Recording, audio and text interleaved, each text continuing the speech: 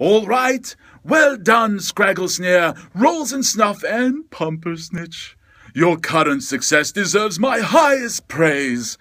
With the help of my dolls, I will now show you a new demonstration in order to reveal to you something of much importance.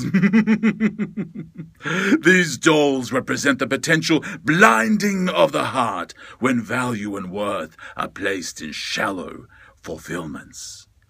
With this blinding, the heart is fully taken from that of the enemy. ah, but in order to show Evelyn into. Ah, man, I missed up the second part. All right.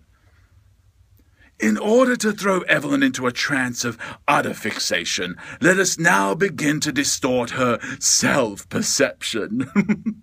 oh, she won't even realize the vicious cycle of perfection that she has taken part of.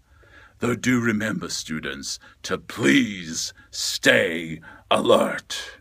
For as she ages, she will begin to lose even the slightest pleasure in her looks for age will be beyond her ability to repair.